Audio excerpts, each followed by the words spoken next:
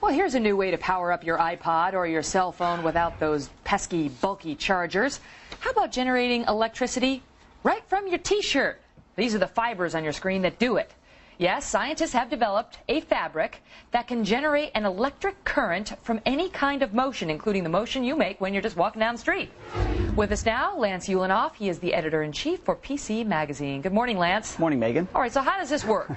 All right, so it uses uh, what's called zinc oxide nanofibers, and they're impregnated into the fabric of this shirt. Half of them are zinc, half of them are gold. The motion creates basically a, a super tiny generator that creates energy that is stored in the shirt and then can be passed along to your iPod or to your cell phone. So, you know, imagine that this really, you know, they've only created a very small piece of fabric so far. So it's not that you can run out to uh, Macy's and buy this shirt right now. But in the offing, this kind of fabric could be anywhere. It could be in a car seat. You know, you got the kids jumping around and they're generating energy to power the DVD player in the car. Well, what's the deal? So you just have to sit there, you know, with like your your iPod up against your, you know, I mean, does it have to be touching you? Well, how does it work? Well, here's the thing. The, the, right now, they don't seem to know exactly how that energy is going to get directly from the shirt to the iPod. But, you know, really any motion, any bending of that shirt, even a, a, little breeze across the shirt is going to generate energy.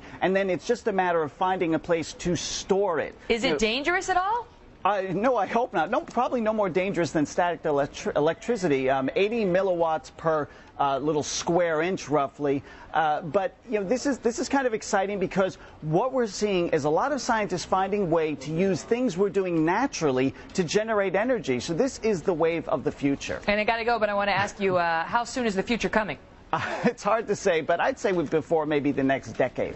Oh, next decade. Lance, thanks for wasting our time. I'm sorry, not for Valentine's Day, not this year. thanks for being here. Lance,